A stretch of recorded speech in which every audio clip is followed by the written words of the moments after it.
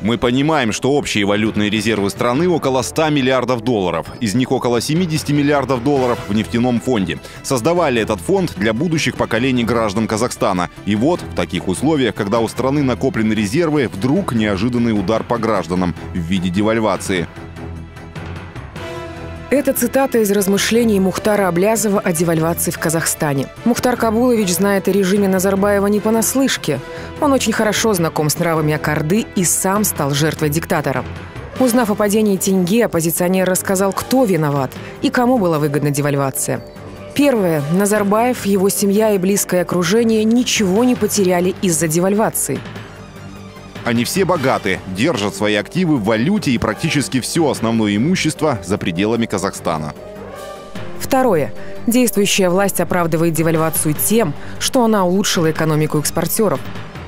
Это что же получается? Люди за один день потеряли деньги в банках. Их вклады обесценились на 20%. И это улучшит экономику страны?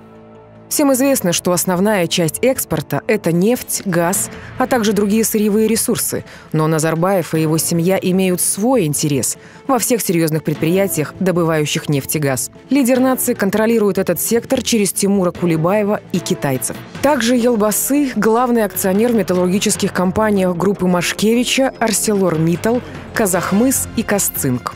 Так что говорим выгодно экспортерам, подразумеваем выгодно Назарбаеву.